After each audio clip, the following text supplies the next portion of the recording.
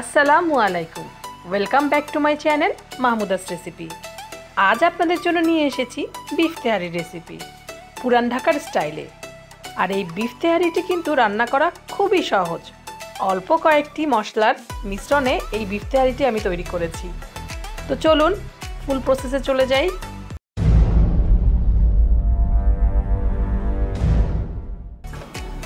প্রথমে আমি একটি গুঁড়ো মশলা তৈরি করে নিচ্ছি।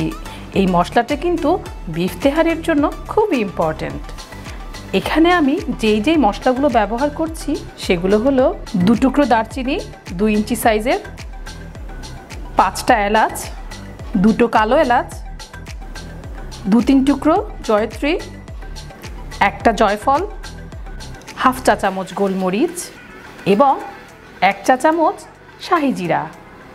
আমি এখানে দেড় কেজি পরিমাণ গরুর মাংস নিয়ে নিয়েছি।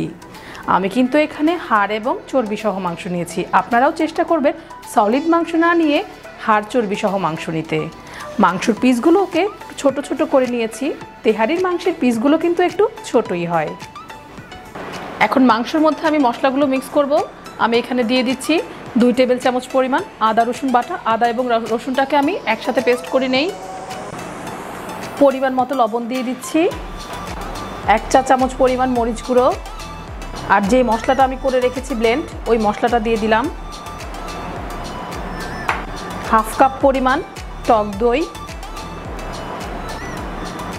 দুই চা চামচ পরিমাণ সরিষার তেল দিয়ে দিলাম। এবার এই সবগুলো উপকরণকে আমি একত্রে মিক্স করে নিচ্ছি। খুব ভালো করে আপনারা চেষ্টা করবেন অবশ্যই হাত দিয়ে মিক্স করতে, তাহলে মিক্সিংটা কিন্তু ভালো হয়।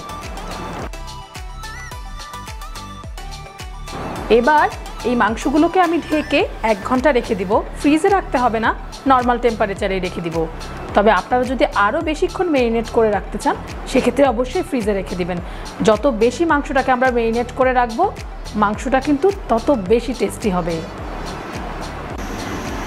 চুলায় একটি প্যান বসিয়ে এখন আমি এতে দিয়ে দিচ্ছি দুই কাপ পরিমাণ সরিষার তেল। তেলটা একটু বেশি দেওয়ার কারণ হলো, মাংস সিদ্ধ হয়ে গেলে আমি মাংসগুলো তুলে এই তেলের মধ্যেই পোলাওটা রান্না করব। আর পুরনো ঢাকার স্টাইলে বিফ তেহারি যখনই আপনারা রান্না করবেন, চেষ্টা করবেন সরিষার তেলটা ইউজ করতে। এখন এর মধ্যে আমি দিয়ে দিচ্ছি দু টুকরো তেজপাতা। তেলটা গরম হয়ে যাক।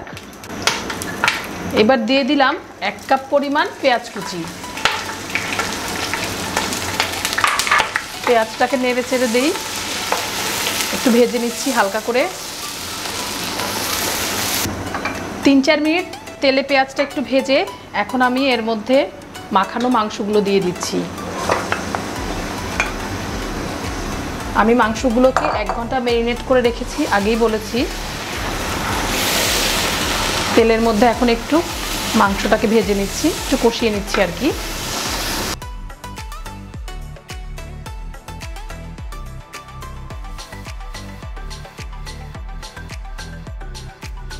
প্রায় পাঁচ মিনিট মাংসটাকে কষিয়ে নিয়েছি।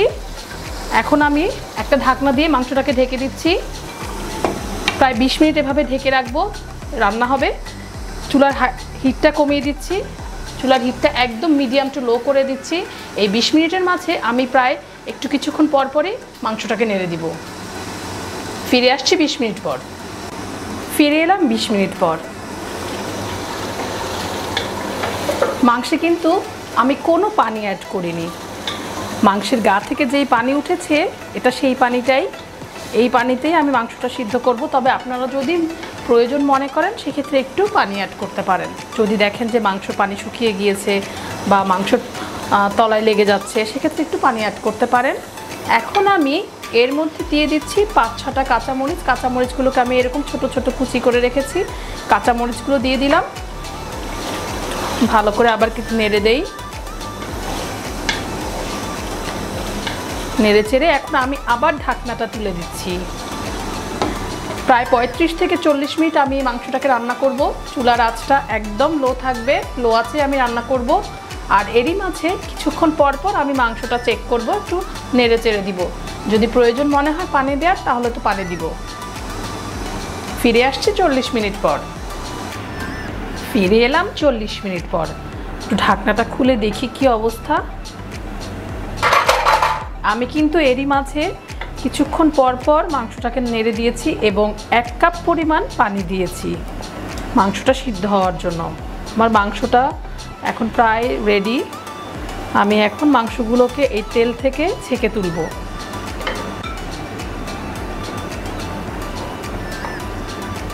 মাংসটাকে আমি তেল থেকে ছেঁকে ছেঁকে তুলে নিচ্ছি এবং এই তেল এবং ঝোলের মধ্যে কিন্তু আমি পোলাওটা রান্না করব।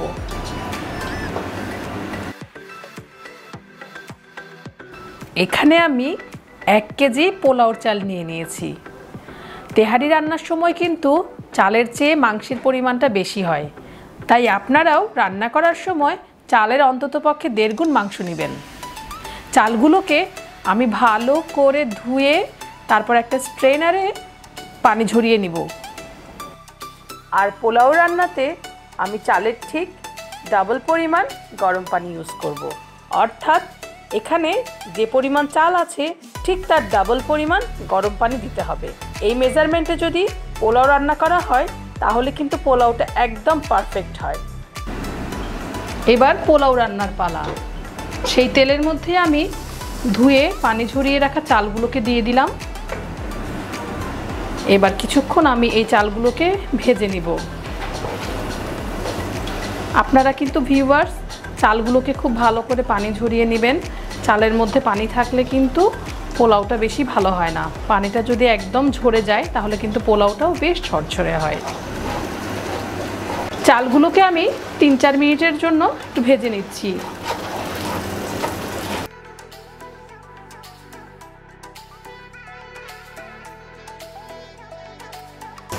তিন চার মিনিট চালগুলোকে আমি ভেজে নিয়েছি। এখন আমি এতে দিয়ে দিব গরম পানি। ফুটন্ত গরম পানি দিতে হবে। আমি আগেই বলেছি কি পরিমাণ পানি দিব। চালের ঠিক ডাবল পরিমাণ পানি আমি এখন এতে দিয়ে দিচ্ছি।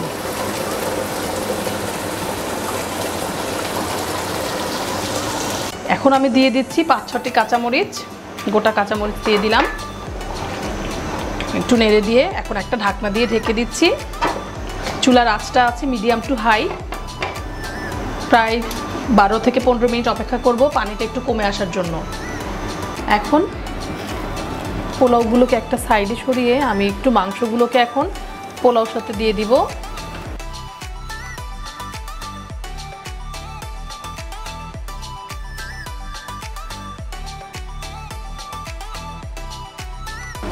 তারপর মাংসগুলোকে একটু পোলাও দিয়ে আবার ঢেকে দিচ্ছি।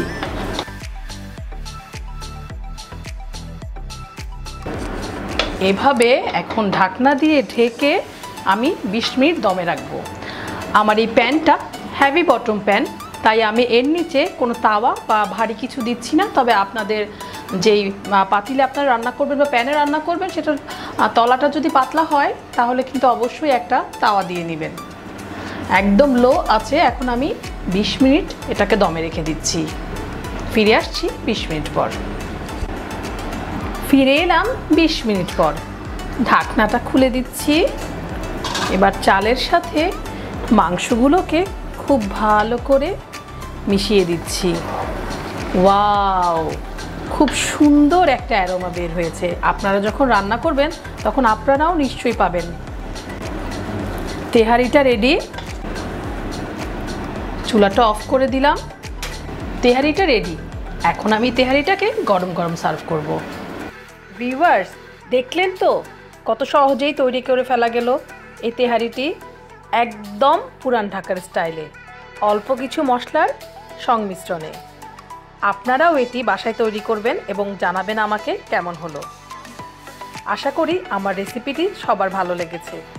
আমার রেসিপি যদি ভালো লেগে থাকে, তাহলে প্লিজ সাবস্ক্রাইব করুন আমার চ্যানেলে এবং বেশি বেশি লাইক, কমেন্ট এবং শেয়ার করুন।